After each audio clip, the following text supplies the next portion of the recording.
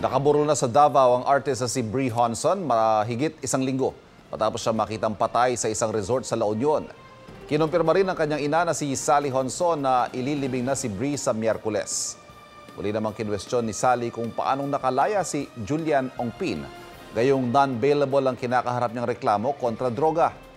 Hindi pa raw nakikipag-usap sa pamilya Honson si Ongpin.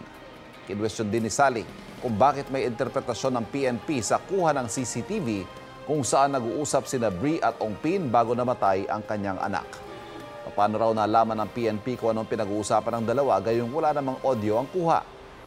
Wala pa bago pahayag mula sa PNP at sa kampo ni Ongpin. Binalikan naman ng ina ni Brie ang mga alaala nito bilang isang anak. she's an achiever. She doesn't want me to worry. She's very profound. She's very intelligent. She's a wide reader. And when she do something, she puts everything in her heart, mind, everything nandoon. Kapuso, mauna ka sa mga balita. Panoorin ang unang balita sa unang hirit at iba pang award-winning newscast sa youtube.com slash GMA News. I-click lang ang subscribe button.